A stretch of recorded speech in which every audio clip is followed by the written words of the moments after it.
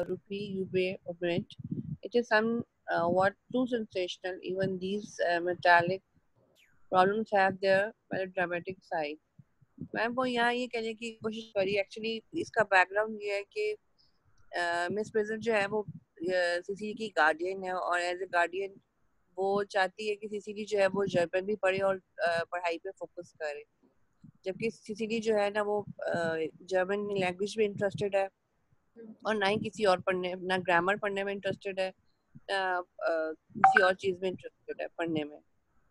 तो वो उसको चाह रही है कि वो पढ़ाई पे कॉन्सेंट्रेट करे जबकि वो दूसरी तरफ़ मिस्टर चौजबल आ गए और वो आके उनके साथ वॉक पे जा रही है और वो कह रही है कि तुम जो है ना पढ़ाई पढ़ो, मैं अभी आती हूँ वॉक पे वॉक करके, यहाँ पर। ठीक है। और यहाँ पे वो क्या दिखा रही है कि उसको वो पैसे की कदर भी दिखा रही है ये देखो तुम एक जो है चैप्टर ओमिट कर दो तो तुम्हारे तो you may omit the chapter on the devaluation of the rupee कि रुपी की डिवैल्यूएशन हो गई है तो तुम एक चैप्टर भी ओमिट कर दो because this chapter someone too sensational कोई सेंसेशनल चैप्टर है यानी कि वो वहाँ के पैसे को किसके साथ एक किताब के साथ कंपेयर करिए even these current problem have their sensational aspects यानी कि वो में बता रही है बट कह रही है कि जितने भी करेंसी प्रॉब्लम्स है उनके सेंसेशनल एस्पेक्ट्स हैं। एंड एनी असनाद इन लाइंस को जरा बताइए। That would be delightful Cecily you will read your political economy in my absence कौन सी पॉलिटिकल इकोनॉमी उसको बता रहा है? बता रही है। अस्सलाम वालेकुम। मैम यहाँ पे जो है ना ये सटायर है उस टाइम के लोगों को। आ, ये सॉरी मिसप्रिज्म रिप्रेजेंट कर रही है। दरअसल ये वैसे टीचर है एज जिस तरह वो सब्जेक्ट्स पढ़ा रही है। लेकिन उसके बावजूद जो पॉलिटिकल इकोनॉमी एक सब्जेक्ट है ना मैम इसमें जो फॉल ऑफ़ करेंसी और जो करेंसी और ट्रेंड ऑफ़ करेंसी ये मेन टॉपिक है इसकी बेसिक्स हैं। मतलब कि ये इनके बगैर जिस तरह हम कह सकते हैं ना कि साइंस बायोलॉजी फिजिक्स केमिस्ट्री के बगैर साइंस कुछ नहीं है। तो ये पॉलिटिकल इकोनॉमी में जो है ना ma'am rise of currency trend of currency और ये तीन चार और चीज़ें इनके बगैर ये पॉलिटिकल इकोनॉमी कुछ भी नहीं है। हम्म। तो ये भी उसको ये गाइड कर रही है कि आप जो है ना ये ये पढ़ो अपना पॉलिटिकल इकोनॉमी लेकिन उसमें जो है ना ये फॉल ऑफ़ रुपी को जो है ना आप ओमिट कर दो। तो ये यहाँ से बहुत बड़ी इसको जो है ना, ये शौक आ रहा है कि वो उस टाइम की जो सीरियस चीज़ें थी, ये अब फिर वही उसी खाते में आ रहा है ना, जो हमने पहले मतलब जो बेसिक थीम इसका हम पढ़ रहे हैं कि ये ट्रेवल ट्रेवल ट्रैवल मैटर्स को जो है ना वो सीरियस लेते थे और सीरियस मैटर को जो बिल्कुल ट्रैवल तरीके से हैंडल करते थे। तो ये यहाँ पे वही चीज़ शौक आ रही है उसको कि जो है ना आप वो बेसिक चीज़ भी बता रही है और फिर उसको, उसके सार को कह रही है, उम्मीद कर दो और साथ फिर उसको ये भी मेंशन कर रही है कि ये कोई खास नहीं है सेंसेशनल नहीं है तो लिहाजा जो है ना आप ओमिट कर दो। हम्म। इस इन लाइन में ये है मैम बाकी अगर ब्रीफली देखा जाए तो ये जो है ना इससे पहले भी डिस्कशन होती है उनकी डायरी के बारे में वो डायरी के बारे में भी बताती है कि वो जब अपनी तरफ़ से बताती है कि मैं डायरी रखती हूँ कि ये मेरी तरह से सीक्रेट ऐड करती है wonderful secret of my life तो इस मिसप्रिज्म आगे से बहुत अच्छा पॉइंट देती है कि जो है ना मेमोरी इंसान की बेस्ट जो है ना डायरी होती है वो बेहतरीन डायरी है। उसके बाद फिर नावल के पॉइंट पे आ जाती है बात वो डॉक्टर चौधरी भी आ जाती नावल की बात पे आती है तो वो नावल कहती है सिसली उसको क्या आपने नावल कंप्लीट कर रही थी कहाँ तक पहुँचा? वो कहती है हाँ मेरा कंप्लीट हो गया लेकिन आज तो बोलो कोई सुन ना लेना। तो क्योंकि ये एक स्ट्रेंज है। वो कहती है आपका नावल किस तरह वो कहती है मेरा जो है ना हैप्पीली एंड हो रहा है। तो वो कह रहा है ये जो एप्पली एंड होते हैं ना नावल वो मुझे अच्छे नहीं लगते। हम्म। तो उसके बाद डॉक्टर चौधरी आ जाता है। फिर यहाँ पे एक पॉइंट आता है कि वो एडवांस में डॉक्टर चौधरी को ना अपनी तरफ़ से कह देती है कि मिस मिस प्रिजम ने मुझे अभी बताया है कि उनके सर में जो है ना दर्द है मतलब हेड एक है। तो वहाँ पे मिस प्रिज्म कहती है कि मैंने तो आपको नहीं बताया। वो कहती है कि मैं इतनी भी बेवकूफ़ नहीं सिसिली कहती है ना मैं समझ जाती हूँ। वो कहती है कि दरअसल मेरी तवज्जो जो है ना जर्मन लेसन की तरफ़ नहीं थी ये भी अब उसको ट्रेवलिटी को शो कर रही है उस टाइम की ना कि वो जो उसको उसको उसकी चीज़ें और उसको लेसन जो मेन है वो पढ़ा रही है लेकिन वो उनको छोड़ के वो जो ट्राइवल चीज़ें उन पे फोकस कर रही है। वो कहती है मेरी तवज्जो जो है ना उन लेसन की तरफ़ नहीं थी बल्कि मेरी तवज्जो तो आपके सर दर्द की तरफ़ थी। मुझे लग रहा था कि शायद आपको सर दर्द है। तो फिर डॉक्टर चोजेबाल उनको साथ लेके चले जाते हैं और फिर यहाँ तक वो वो उनको कह के चली जाती है क्या पोलिटिकल इकोनॉमी और फिर वही मारी And what is Ageria? Uh, Miss Prism, Ageria, my name is Letitia Doctor. ये क्या चीज़ शो कर रहा है चौजेबल की डॉक्टर चौजेबल यहाँ पे है my name is Egeria Miss Prism ah yes he usually likes to spend his sunday in london he is one of those whose sole aim is enjoyment इसके बारे में बात हो रही है he usually like to spend Chasuble कहता है uh, जब वो कहती है Miss Prism we do not accept him till Monday afternoon जब वो मिस्टर वर्दिन के बारे में पूछता है तो वो क्या कहती है चौजेबल क्या कहता है yes he usually likes to spend his sunday in london he is one of not one of those whose sole aim is enjoyment as by all account that unfortunate young man his brother seem to be but i must not disturb Egeria and her people any longer वो कहता है कि भाई मैं Egeria और उसकी people यानी कि सीसीली को इससे ज़्यादा जो है डिस्टर्ब नहीं करूँगा। तो मिस प्रिज्म आगे से कहती है Egeria my name is Letitia doctor और फिर आगे से चॉजेबल उसको कहता है म्यूजियन mainly drawn from the pagan और I shall see you both no doubt at even form इससे क्या पता एजीरिया क्या कोई क्लासिकल एल्यूजन है?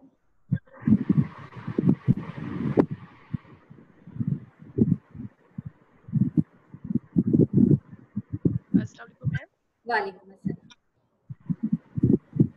मैम अजीरिया क्लासिकल नहीं है ये उसको मिस प्रिज्म को कह रहा है ना डॉक्टर जोजेबल जोजिबल ठीक है। ये जैसे कि वो बताता है कि संडे को वो जो है ना, वो अपना दिन लंदन में गुजारता है, लेकिन वो ऐसा इंसान नहीं है जो अपनी ज़िंदगी जैक, जो खुशियों में अपनी ज़िंदगी गुजारे, जैसे दूसरे नौजवान इस एज के करते हैं कि अपनी ज़िंदगी लुत्फानोज में गुजार हैं, लेकिन वो नहीं, ऐसा वो अपनी रिस्पॉन्सिबिलिटी में ज़िंदगी गुजार रहा है, वो दूसरों के लिए ज़िंदगी जी रहा है।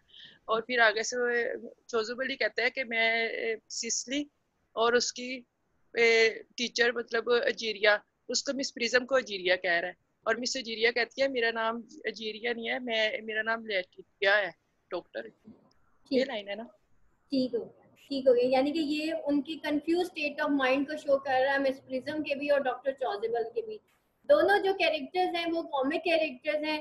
चौजेबल जो है वो एक क्लर्जी मैन है एक्लीजियास्टिकल कैरेक्टर है और उसको रिस्पॉन्सिबल होना चाहिए। इतना उसको जो है कंफ्यूजिंग कैरेक्टर नहीं होना चाहिए। On the other hand Miss Prism is one of the governance जो कि वो भी हर वक्त कंफ्यूज स्टेट ऑफ़ माइंड में रहती है। हालाँकि वो क्या पढ़ा रही है अपनी स्टूडेंट को, वो जो है जर्मन पढ़ा रही है और जर्मन लेसन में भी वो क्या पढ़ा रही है उसको पॉलिटिकल इकोनॉमी जो है वो पढ़ा रही है और उसमें भी वो एक एबसेंट माइंडेड स्टेट में है और वो दोनों ही कॉमिक कैरेक्टर्स हैं जो उस वक्त के, उस दौर के जो है एबसेंट माइंडेड स्टेट्स या कंफ्यूज स्टेट ऑफ़ माइंड्स को जो है वो शो कर रहे हैं।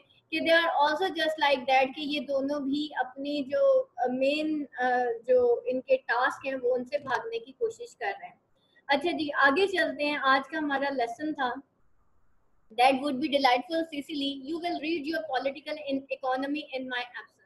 और फिर वो उसको कहती है सीसीली चौसेबल जब उसको कहता है कि I think Prism sorry Miss Prism कहती है I think dear doctor I will have I will have a stroll with you. और फिर वो कहती है कि डियर चॉजिबल यानी कि मिस प्रेजेंट जब डॉक्टर चॉजिबल को देखती है तो वो कहती है कि अब मुझे तुम्हारे साथ एक स्ट्रॉल करनी चाहिए, यानी कि एक वॉक करनी चाहिए।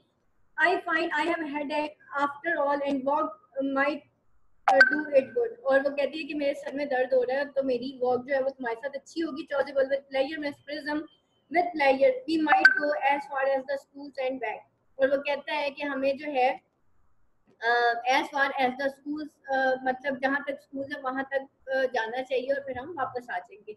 मिस प्रिज्म जो है, फिर वो सिसिली को कहती है कि मेरी एब्सेंस में तुम पॉलिटिकल इकोनॉमी के बारे में पढ़ना और फॉल ऑफ़ रुपी जो है, उसको तुम ऑमिट कर देना। फॉल ऑफ़ रुपी जो उसका चैप्टर है, यानी कि फॉल ऑफ़ रुपी एक बहुत मतलब कोई आम बात नहीं होती। उसके सब्जेक्ट्स में एक या उसके चैप्टर्स में एक फॉल ऑफ़ रुपी के बारे में या उसके टॉपिक में कहीं फॉल ऑफ़ रुपी की बात आती है तो वो कहती है कि ये जो फॉल ऑफ़ रुपी या राइज ऑफ़ रुपी है, इसके करेंसी के बारे में तुम्हें बहुत ज़्यादा पढ़ने की ज़रूरत नहीं है। यू में ओमिट इसको, तुम छोड़ देना। It is somewhat too sensational sensational बजाय वो सेंसेशनल तो खैर नहीं था, क्योंकि ये डिफ़िकल्ट चैप्टर था। तो नॉर्मली क्या होता है, हमारे भी अक्सर स्कूल के अंदर ये होता है, जो मुश्किल चैप्टर्स होते हैं, वो टीचर्स जो हैं स्टूडेंट्स को छुड़वा देते हैं कि भाई, ये तो या आप खुद कर लीजिएगा। या फिर इसको छोड़ ही दें। तो वो यहाँ पे उसको कहते हैं, ये सेंसेशनल है। हालाँकि दो आर वेरी मतलब एक मुश्किल चैप्टर्स थे। Even these metallic problem have their melodramatic sides और ये मेटालिक प्रॉब्लम्स क्यों कह रही है? क्योंकि करेंसी जो है, वो सिक्कों से बनती है मेटल से बनती है। तो वो कहती है, ये जो करेंसी प्रॉब्लम्स है ना, इनके सेंसेशनल एस्पेक्ट्स हैं मिलोड्रामेटिक एस्पेक्ट्स हैं। तो तुम्हें इनको ज़्यादा सर पे सवार करने की ज़रूरत नहीं है। Cecily goes down garden with doctor Chasuble sorry अब वो जो है गार्डन में डॉक्टर चौजेबल के साथ चली जाती है। Cecily picks up book and throws them back on the table Cecily जो है, अब बुक्स को उठाती है और वो टेबल पे फेंक देती है। Horrid political economy horrid geography horrid horrid German अब वो इन सारी बुक्स जो है, उनके अंदर लीस्ट इंटरेस्ट लेती है इन बुकिश नॉलेज और फिर उसके बाद enter Merriman with card on the salver और वो जो है मैरी मैन एंटर होता है with a card on a plate और फिर वो मैरी मैन क्या कहता है Mister Ernest Worthing has just driven over from the station he has brought his luggage with him और मिस्टर अर्नेस्ट वर्डिंग जो है वो अभी रेलवे स्टेशन से आए हैं और उसका लगेज उसके साथ है। Cecily takes the card and read it Cecily जो है उसको पढ़ती है और लिखा क्या होता है? Mr. Ernest Wording, before the Albany Uncle Jack brother, did you tell him Mr. Wording was in town?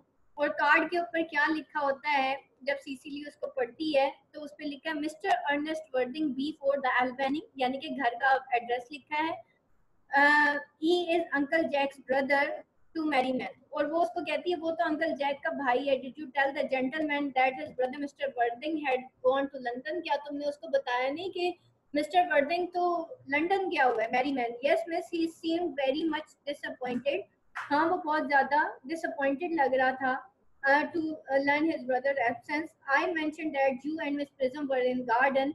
He said he was anxious to speak to you privately for a moment. और वो कहता है कि वो तुमसे privately कुछ बात करना चाहता है. Cecily, ask Mr.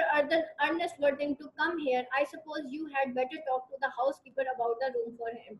और वो कहती है उसको कि हम टेल मिस्टर अर्नेस्ट वर्डिंग के वो यहाँ पे आए। I think he would be better if you were also told the housekeeper to get a room ready for his stay, कि भाई उसके stay के लिए एक room तैयार करो। Mary man, yes ma'am. Cecily, I have never met a really big person before. वो कहती है कि मैं इस तरह के big पर्सन से पहले कभी भी नहीं मिली। यानी कि Mister Arden Ernest Worthing is reported to be a big man here और यहाँ पे and I have never met any big man before I feel rather frightened मुझे डर लग रहा है I am so afraid he will look just like everyone else और मुझे बहुत ज़्यादा मैं मतलब मुझे बहुत फ्राइटनिंग लग रहा है, और my fear is that he will look just like everybody else instead of looking different और मुझे लग रहा है क्योंकि वो एक बिग पर्सन है तो शायद उसकी लुक्स भी शायद डिफरेंट होगी. And enter Algernon very gay and debonair और वो एल्गनॉन एंटर होता है जो कि बहुत चेयरफुल और सेल्फ कॉन्फिडेंट होता है। सीसीली जो है दोबारा से ही डज ठीक है? जैसे ही वो एंटर होता है तो Cecily again speak to herself after seeing him he looks like everybody else यानी कि ही डज वो क्यों कहती है कि ये तो uh, मतलब कुछ थोड़ा डिफरेंट ही लग रहा है। Algernon, Algernon raises his head. You are my little cousin Cecily, I am sure. Sure. और वो कहता है कि तुम मेरी little cousin Cecily हो, मुझे यकीन है। Cecily you are under some strain mistake I am not little और वो कहती है कि तुम किसी मिस्टेक में हो, मैं तुम मैं छोटी नहीं हूँ। In fact I believe I am more than usual tall for my age और मेरा जो कद है, वो मेरी एज से काफ़ी लंबा है। Algernon is rather taken but I am your cousin Cecily. You I see from your card are Uncle Jack's brother, my cousin Ernest, my big cousin Ernest. और वो कहता है मैं तुम्हारा cousin Cecily हूँ और you I see from your card तुम्हें तो मैंने तुम्हारे कार्ड से देखा था आर अंकल जैक्स ब्रदर के तुम जो हो मतलब आई एम नॉट वो जब उसको कहती है ना तो वो कहता है कि I am big cousin Cecily you must not think I am a big man और तुम्हें मैंने कहाँ पे देखा था? तुम्हें मैंने थ्रू कार्ड देखा था जो कि अंकल जैक की, किसके ऊपर था? उसकी जो है जो उसका जो केस था, उसके ऊपर तो वो कहता है कि मैं I see from your card are uncle Jack's brother my cousin Ernest my big cousin Ernest तो मैं तुम्हारा वही बिग कज़न सॉरी सीसीली उसको कहती है कि भाई I am your cousin Cecily मैं तुम्हारी कज़न हूँ सीसीली और you I see from your card और मैंने तुम्हें जो है उस कार्ड के ज़रिए देखा था आर अंकल जैक ब्रदर कि तुम अंकल जैक के ब्रदर हो, तुम मेरे कज़न अर्नेस्ट हो, मेरे विक कज़न अर्नेस्ट हो Algernon oh I am not really wick at all cousin Cecily you must not think I am wick और वो कहता मैं विक नहीं रहा Cecily if you are not, then you have certain, certainly been deceiving us all in a very inexcusable manner वो कहता है अगर तो तुम वाकई विग नहीं हो, फिर तुम सर्टेनली तुम हम सारों को एक इन एक्सक्यूजेबल मैनर में हमें रिसीव करने आए हो। I hope you have not been leading a double life और मैं आई होप मुझे यकीन है कि तुम एक डबल लाइफ अब नहीं लीड कर रहे होगे डबल लाइफ नहीं गुजार रहे होगे, pretending to be big and being really good all जो कि प्रिटेंडिंग प्रिटेंड कर रहे होगे कि तुम विग्ड हो और उसके साथ साथ तुम गुड भी हो all the time that would be hypocrisy तो ये एक हिपोक्रेसी होगी अगर तुम एक डबल लाइफ गुजार रहे हो कि प्रिटेंड तो तुम ये करो कि टू बी विग भी हो और फिर रियली गुड भी हो. Algernon look at her in amaze amazement. Oh, of course I have been rather reckless. Cecily I'm glad to hear it Algernon. In fact now you mentioned the subject. I have been very mad uh, bad in my own small way. और वो कहती है कहता है कि in fact you have mention the subject कि मैं अपने तमाम वेज में बहुत बुरा हूँ बुरा रह चुका हूँ Cecily I don't think you should be proud of that और वो कहती है मुझे नहीं लगता तुम्हें अपनी उस बुरे रास्तों में प्राउड होना चाहिए though I am sure it must have been very pleasant और मुझे आई एम श्योर कि तुम्हें प्राउड तो नहीं होना चाहिए लेकिन तुम्हारे जितने भी वेज हैं, वो बहुत ज़्यादा प्लेजेंट हैं। Algernon it is much pleasant being here with you लेकिन वो कहते तुम्हारे साथ रहना तो उससे भी ज़्यादा प्लेजेंटर है। Cecily I can not understand how you are here at all uncle Jack would be back in Monday afternoon Algernon that is great disappointment वो कहते बहुत डिसअपॉइंटमेंट की बात है। कि जो अंकल जैक हैं वो यहाँ पे नहीं है। I am oblige to go up by the first train on Monday morning मुझे तो मंडे मॉर्निंग फ़र्स्ट ट्रेन से वापस जाना है। I have a business appointment that I am anxious और वो कहता है कि मेरी एक बिज़नेस अपॉइंटमेंट है जहाँ तक मुझे जहाँ मुझे पहुँचना है। तो Miss Cecily could not you miss it anywhere but in London और वो कहता है कि मैं उसको मिस नहीं कर सकता अपने बिज़नेस अपॉइंटमेंट को। तो सीसीली उसको कहते हैं could not you miss it anywhere but in London तो वो कहता है क्या तुम इसको कहीं भी मिस नहीं कर सकते बल्कि लंडन में? Algernon no the appointment is London वो कहता है कहता नहीं अपॉइंटमेंट तो लंडन में ही है तो मैं उसको मिस नहीं कर सकता. Cecily well I know of course how important it is not to keep a business engagement और सीसीली uh, उसको कहती है कि मैं जानती हूँ how important it is not to keep a business engagement कि कितना इम्पोर्टेंट है कि आप एक बिज़नेस एंगेजमेंट ना कायम रख सकें if one wants to retain any sense of beauty of life but still I think you had better wait till uncle Jack arrive I know he wants to speak to you about your immigrating और वो कहती है कि मुझे पता है कि it is not to keep up I know of course how important it is not to keep up business engagement कि कितना इम्पोर्टेंट है कि आप एक बिज़नेस एंगेजमेंट को कायम ना रख सकें। If one wants to retain any sense of beauty of life जबकि एक इंसान जो है sense of beauty of life को रिटेन करना चाह रहा हो। बट स्टिल आई थिंक कि तुम्हें यहाँ जो है अंकल के अराइवल का इंतज़ार करना चाहिए। और क्या करना चाहिए? I know want to speak to you about your I know he wants और वो तुम्हारी इस इमिग्रेटिंग की uh, यानी कि तुम्हारे इस चेंज को सुनने में बहुत ज़्यादा uh, मतलब uh, होंगे मतलब टू फॉरेन कंट्री मतलब I know that he wants to talk to you about your emigrating to a foreign country वो कहते हैं कि तुम्हारे इस इमिग्रेटिंग में वो बहुत ज़्यादा खुश होंगे कि तुम एक फॉरेन कंट्री में इमिग्रेट कर चुके हो I'll about my what Cecily, you are immigrating. He has gone up to buy your outfit. वो कहता है कहती है कि तुम्हारी इमिग्रेशन के बारे में वो जो है uncle Jack has gone to London in order to buy the needful clothing for you वो तुम्हारी इमिग्रेशन के चक्कर में तुम्हारे लिए अच्छे कपड़े लेने गए हैं। Algernon, I certainly would not let Jack buy my outfit. वो कहता है कि मैं कभी भी जैक को अलाउ नहीं करूँगा कि वो मेरे कपड़े खरीदे। He has no taste in neck ties at all उसको तो नेक टाइज भी नहीं यानी कि उसको नेक टाइज भी खरीदनी नहीं आती। इसीलिए I don't think you will require neck ties uncle Jack is sending you to Australia और वो क्या कहती है अब यहाँ से पता चला कि अंकल जैक तुम्हें ऑस्ट्रेलिया भेज रहे हैं where you will not need of neck sooner die. वो कहता है ऑस्ट्रेलिया में तो मैं बहुत जल्दी मर जाऊँगा he said at dinner on uh, Wednesday night that you would have to choose between this world and next world and Australia. और वो कहती है सीसीली उसको बताती है कि अंकल जैक ने कहा है या तो तुम इस दुनिया में रहोगे या उस दुनिया में रहोगे या फिर तुम्हें मरना होगा.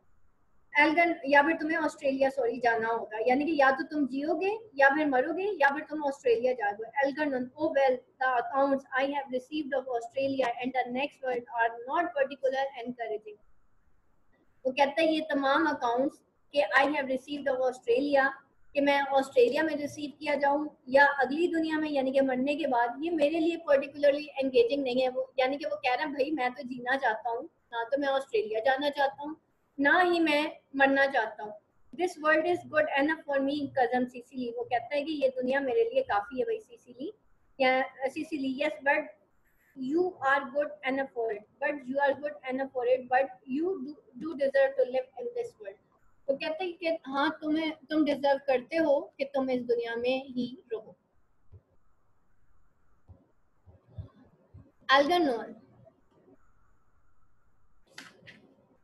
I am afraid I am not that और वो कहता है कि मुझे आई एम अफ्रेड कि मैं इस दुनिया में I do not deserve to live in this world कि मैं इस दुनिया में uh, जो है शायद इस दुनिया के लिए बना नहीं हूँ या डिजर्व नहीं करता to live in this world that is why I want you to reform me और इसी वजह से मैं चाहता हूँ कि तुम मुझे रिफॉर्म करो। सीसीली को वो ये कहता है।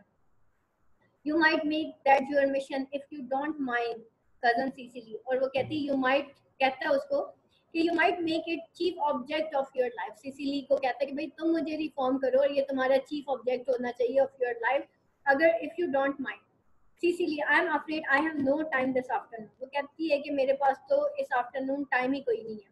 Algernon, well, would you mind my reforming myself this afternoon? और Algernon उसको कहता है, well, you, would you mind if it reform myself by on efforts this afternoon कहता है कि भाई, फिर मैं इस आफ्टरनून अपने आप को खुद से चेंज करने की कोशिश करता हूँ। यहाँ पे देखिए आयरनी क्या है? जब सीसीली जो है एल्गन लोन में इंटरेस्ट शो करती है, यानी कि अर्नेस्ट में इंटरेस्ट शो करती है तो इससे पहले सीसीली रिक्वेस्ट मिस प्रिज्म से करती है कि आप इसको रिफॉर्म करें।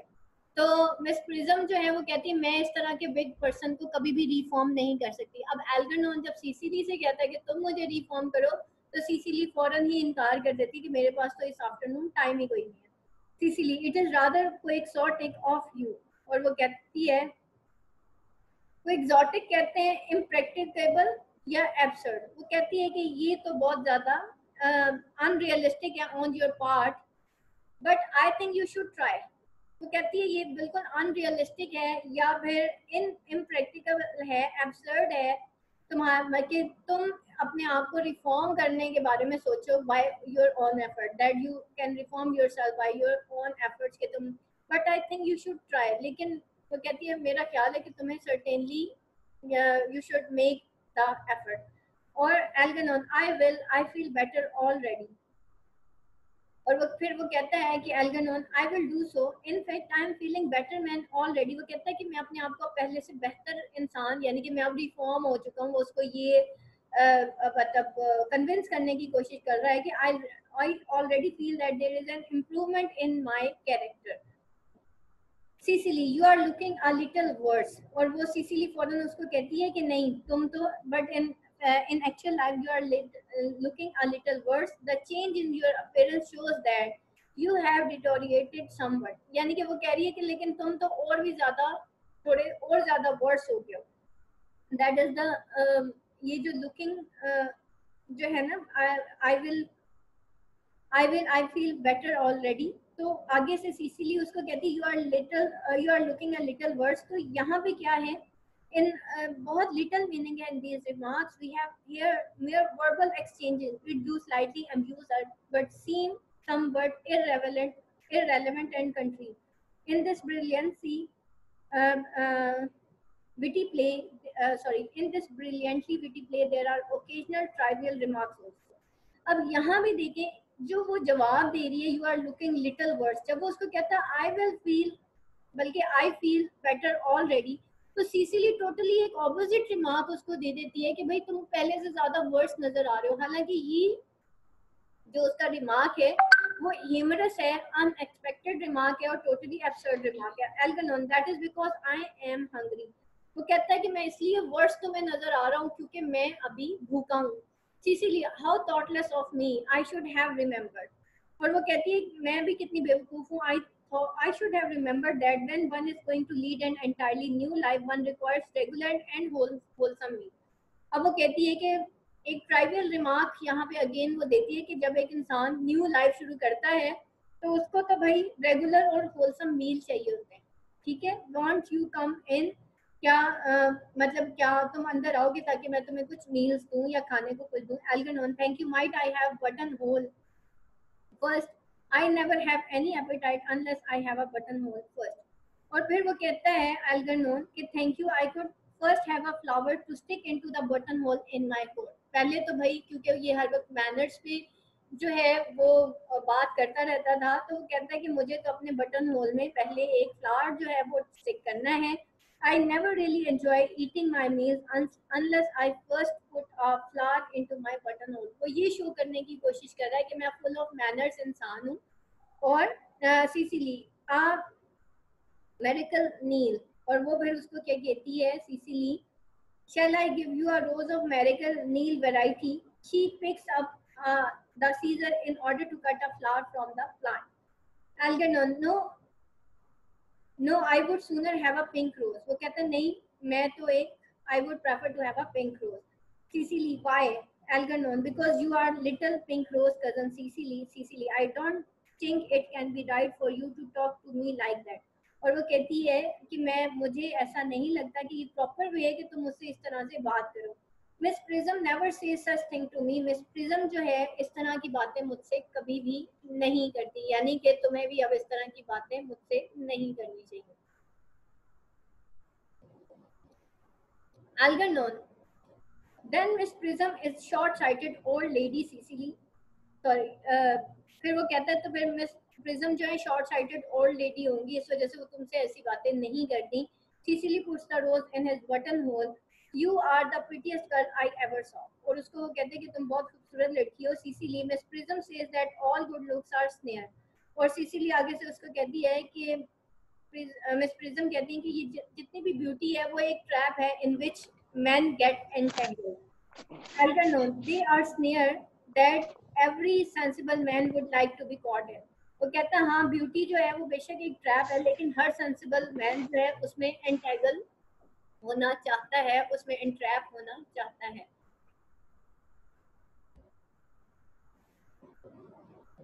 Cecily oh I don't think I would care to catch a sensible man और सीसीली अब कहती है कि I don't think so I could care to entrap a sensible man और वो कहती है, मैं बिल्कुल भी इस उसमें नहीं हूँ कि मैं किसी सेंसिबल मैन को इसमें एंट्रैप करूँ। I should not know what to talk to him about और वो कहती है कि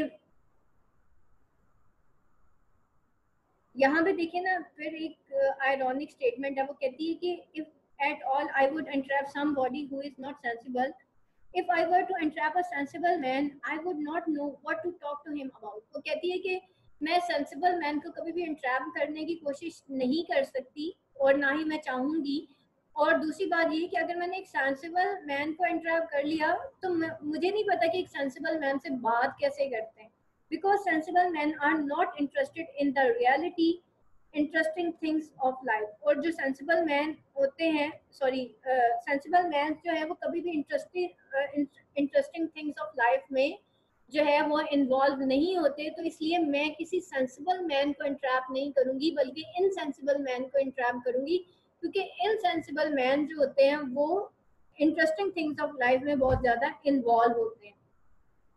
They pass into the house. Miss Prism and Dr. Chasuble return. Miss Prism, you are too much alone, Doctor. Dear Chasuble, you should get married.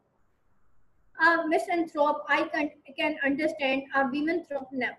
और वो कहती है कि भाई डॉक्टर चौजबल तुम्हें हम शादी कर लेनी चाहिए एक मिसंथ्रॉप यानी कि मिसंथ्रॉप किसे कहते हैं एक ऐसा इंसान जो कि हेटर ऑफ़ मैन काइंड होता है कहती है उसको तो मुझे समझ आती है लेकिन एक हेटर ऑफ़ वीमेन काइंड की मुझे समझ नहीं आती वीमेन थ्रॉप मुझे समझ नहीं आती कि there is some sense in a man hating his fellow man कि एक मैन जो है वो फेलो मैन से तो चले नफरत करता है ये तो समझ आती but there is no sense at all in hating women Chasuble with the scholars shudders or feeling visibly disturbed by Miss Prism's use of unusual word, a scholar as he believe me, I do not deserve so neologistic a phrase. और वो कहता I assure you that I am not worthy of such expression be used for me. वो कहता है कि मेरे लिए इस तरह के phrases तुम use मत करो.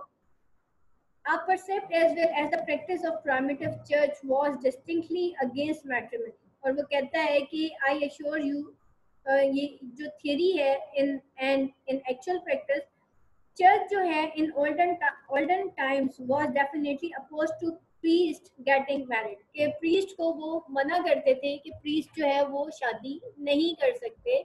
तो ना तो मैं मिसन थ्रॉप हूँ, ना वीमेन थ्रॉप हूँ, बल्कि मैं इसलिए शादी नहीं कर रहा क्योंकि मैं जो हूँ, क्या हूँ?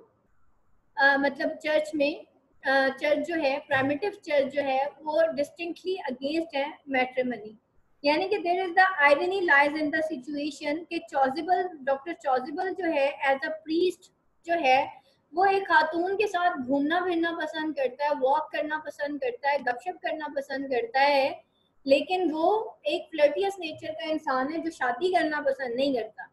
तो और आगे से Miss Prism sententiously, that is obviously the reason why the primitive church has not lasted up to the present day और वो कहती है कि speaking in a moralistic tone opposing opposition to marriage is evidently the reason why the old church has not been to survive till the present time वो कहती है, यही वजह है कि ये जो प्राइमेटिव चर्च के, ये जो अगेंस्ट मैट्रिमनी है, इसी वजह से अब तक, आज तक के प्रेजेंट डे पे ये चल नहीं सका, यानी कि अब खत्म हो चुका है। And you do not seem to realise dear doctor और मुझे लगता है कि तुम्हें इस चीज़ तुम you have not realise yet that by persistently remaining single a man converts himself into a permanent public temptation और वो कहती है उसको कि डियर डॉक्टर इस तरह के हमेशा अनमैरिड रहने से या obstinately remaining unmarried a man transforms himself into permanent and obvious temptation to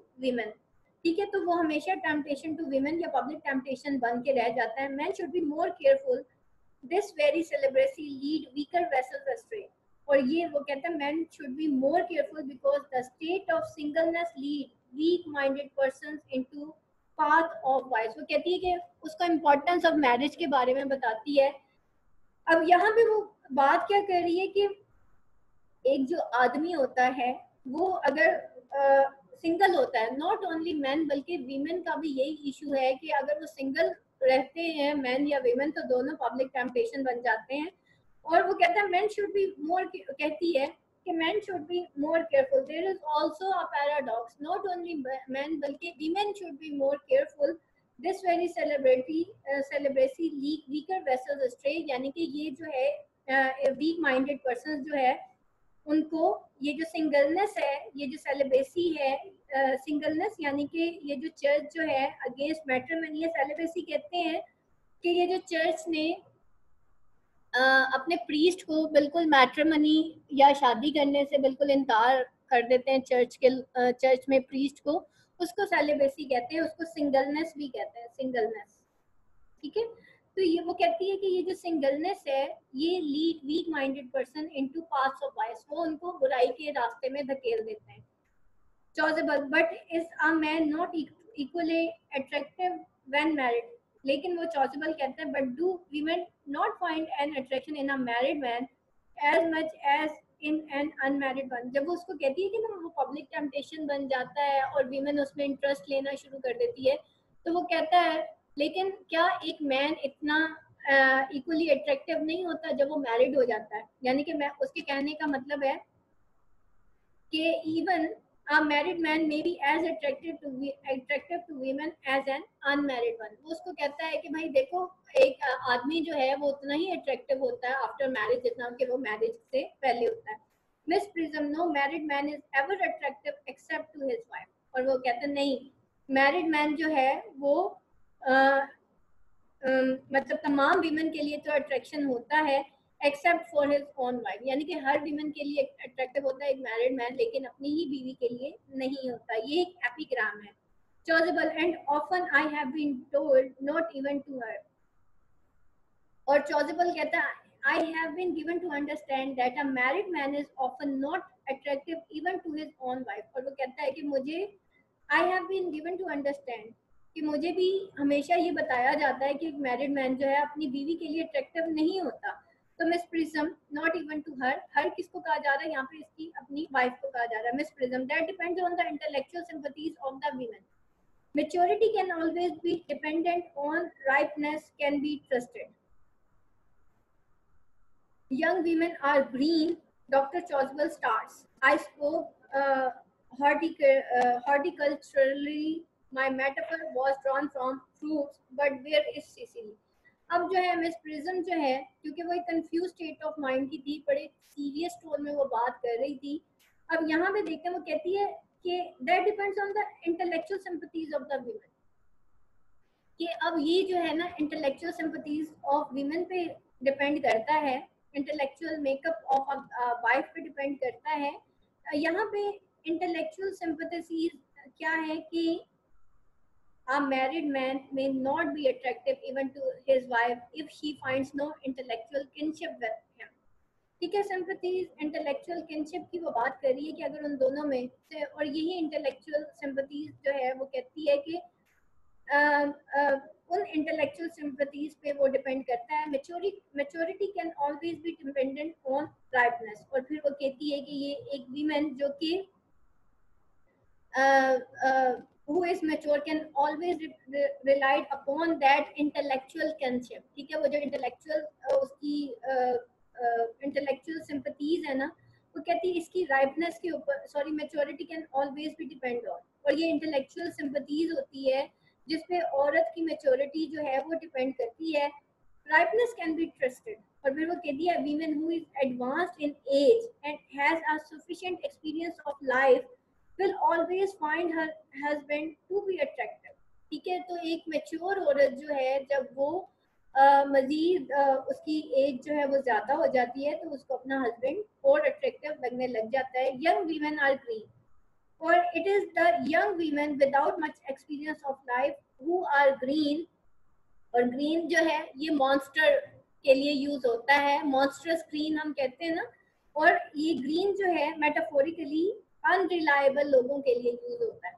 तो वो कहती है कि ये जो यंग uh, लेडीज़ uh, होती है ना ये ग्रीन होती है। एक्चुअली शी इज़ वो ना उसकी अटेंशन अपनी तरफ़ करने की कोशिश करी क्योंकि मिस प्रिज्म जो है वो अब एक ओल्ड लेडी है और वो ये बताने जा रही है कि भाई अब मैं राइपन हो चुकी हूँ अब मेरी एज ज़्यादा हो, हो चुकी है तो मेरे जैसी औरत है जो कि एक शोहर की कदर कर सकती है। ये जो यंग लेडीज़ होती हैं ये तो ग्रीन होती हैं। और ग्रीन यानी कि या तो वो मॉन्स्टर्स होती हैं या फिर वो क्या होती हैं? अनरिलायबल होती हैं।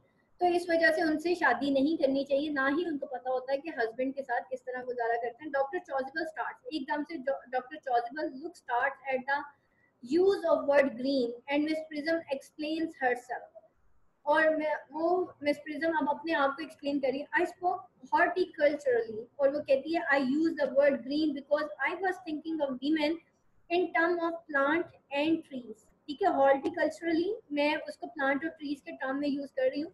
My metaphor was drawn from fruits I was comparing young women to unripe fruits ठीक है, वो कहती है कि मैं यंग वीमेन को, जिनको वो ग्रीन कह रही है, उनको अनराइप फ्रूट्स जो है वो कंसीडर कर रही हूँ which are green in colour but where is Cecily but where is Cecily Cecily कहाँ है?